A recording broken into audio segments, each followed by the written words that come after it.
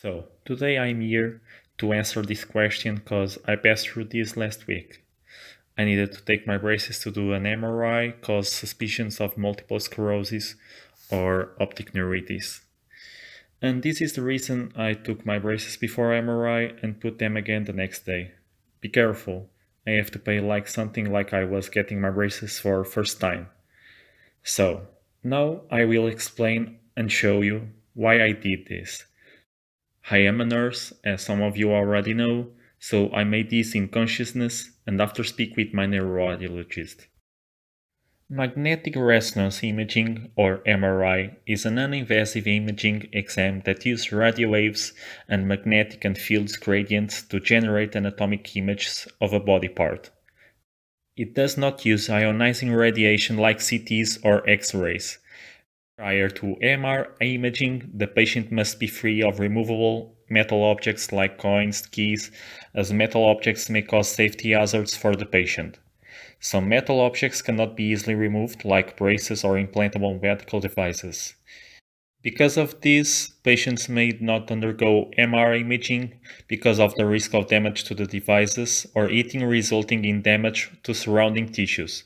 For example, a patient that have a pacemaker or neuro implants can do this.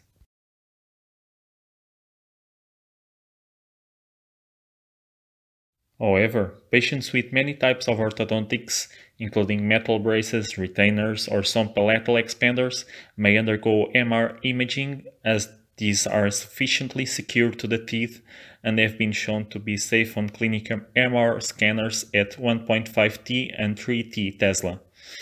Even though they may be safe, these orthodontic devices may cause artifacts to occur on generated images.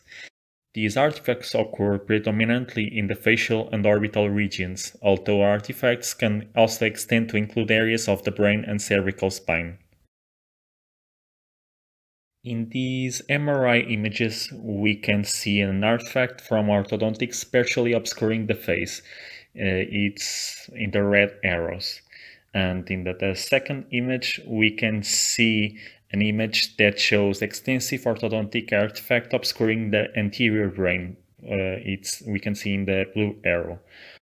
In another image, we can see the same patient and the brain is well seen, the yellow, and the artifact is not a factor.